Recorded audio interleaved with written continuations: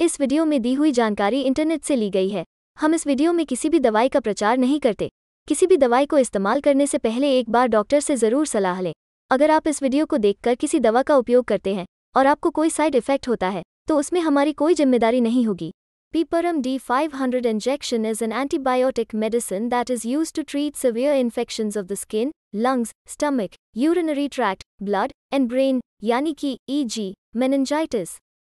यह इन्फेक्शन पैदा वाले बैक्टीरिया को बढ़ने से रोकता है।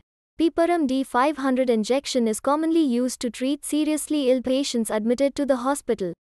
यह दवा एक हेल्थ केयर प्रोफेशनल की देखरेख में ड्रिप या सीधे इंजेक्शन के माध्यम से दी जाती है।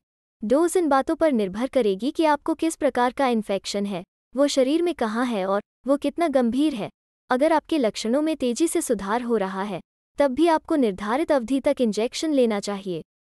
अगर आप इसे समय से बहुत पहले लेना बंद करते हैं तो इन्फेक्शन वापस आ सकता है या बिगड़ सकता है। कुछ लोगों को सिर दर्द मिचली आना डायरिया यानी कि दस्त और रैश जैसे साइड इफ़ेक्ट हो सकते हैं।